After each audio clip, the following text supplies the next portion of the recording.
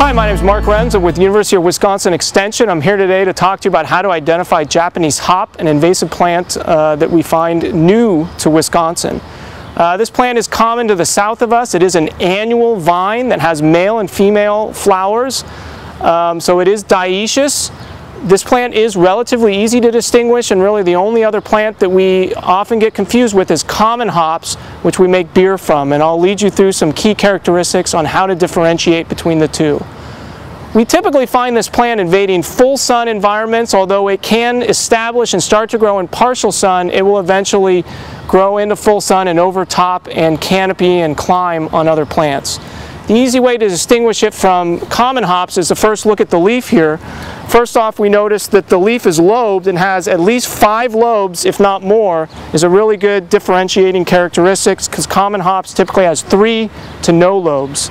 The second way to differentiate it from common hops is to look at the petiole here, where the petiole with Japanese hops is as long or longer than the leaf, whereas with common hops it is quite a bit shorter.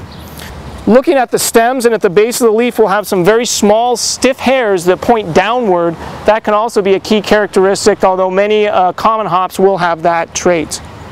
The flowers, if we look at them here, are quite small and indistinguishable. Again, male and female flowers.